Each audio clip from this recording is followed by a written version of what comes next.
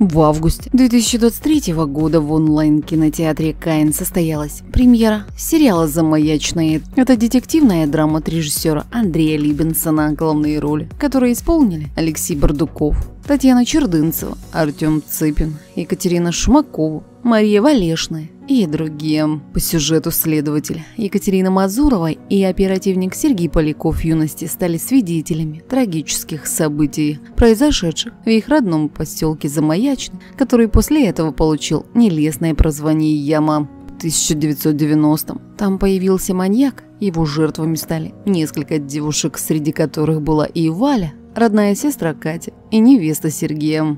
Потом убийства прекратились, так же неожиданно, как и начались, на долгие 11 лет. И все это время Сергей жил жаждой мести, а Катя, чтобы не сойти с ума просто-напросто, вычеркнула то страшное лето из своей памяти. Но маньяк опять вернулся, и теперь Кате и Сергею предстоит вновь встретиться, чтобы раз и навсегда разобраться с прошлым, которое, как оказалось, никогда их не отпускало. По предварительной информации, дата выхода второго сезона сериала «Замаячный» может быть назначена на 2024 год. Точная дата выхода будет известна позже. Подписывайтесь на канал и будете в курсе всех событий о любимых сериалах.